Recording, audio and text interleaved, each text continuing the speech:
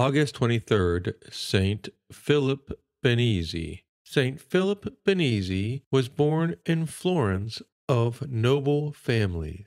He was born on August 15 in the year 1233 on the feast of the Assumption. That same day, the order of Servites was founded by the Mother of God. As an infant, Philip broke out into speech at the sight of these new religious and begged his mother to give them alms. Amidst all the temptations of his youth, he longed to become himself a servant of Mary, and it was only the fear of his own unworthiness which made him yield to his father's wish and begin to practice medicine. After a long and weary waiting, his doubts were solved by Our Lady herself, who in a vision bade him enter her order. Still Philip dared only offer himself as a lay brother, and in this humble state he strove to do penance for his sins. In spite of his reluctance, he was promoted to the post of Master of Novices. His rare abilities were discovered daily, and he was then bidden to prepare for the priesthood. Thenceforth, honors were heaped upon him,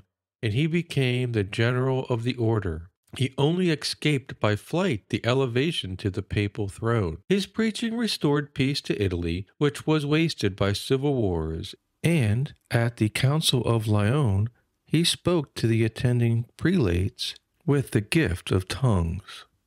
Amid all these favors, Philip lived in extreme penitence, constantly examining his soul before the judgment seat of God and condemning himself as only fit for hell. Saint Philip though he was free from the stain of mortal sin, was never weary of beseeching God's mercy. From the time he was ten years old, he said daily the penitential psalms. On his deathbed, he kept reciting the verses of the Miserere with his cheeks streaming with tears, and during his agony, he went through a terrible contest to overcome the fear of damnation. But a few minutes before he died, all his doubts disappeared and were succeeded by a holy trust. He uttered the responses in a low but audible voice, and when at last the Mother of God appeared before him, he lifted up his arms with joy and breathed a gentle sigh, as if placing his soul in her hand. He died on the octave of the Assumption in the year 1285. He was canonized in the year 1671, and his feast was extended to the whole Western Church in the year 1694. St. Philip reminds us to endeavor to act as you would wish to have acted when you stand before your judge. This is the rule of the saints,